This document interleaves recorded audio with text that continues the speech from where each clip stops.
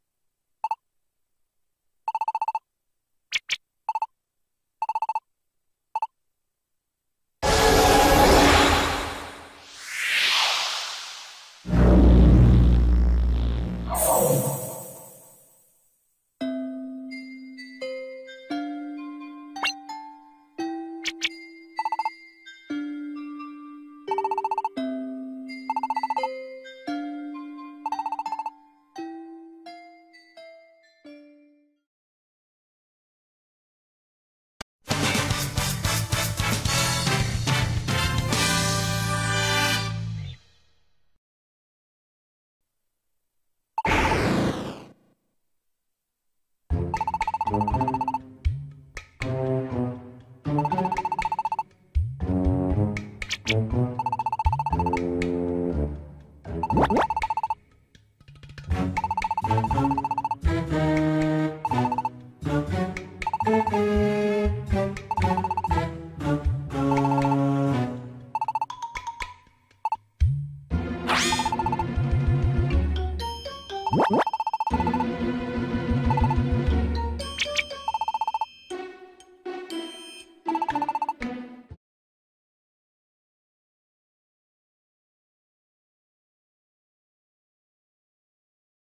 It's because you inconsiderate little rascals think you can do whatever you want, whenever you want. Sorry, but that's not how it works, boy. Anyone with even an ounce of common sense would never do anything as reckless and stupid as you two did.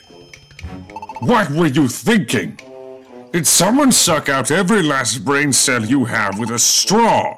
Or is it all that weird, hard to find candy you kids are always eating that made you do it?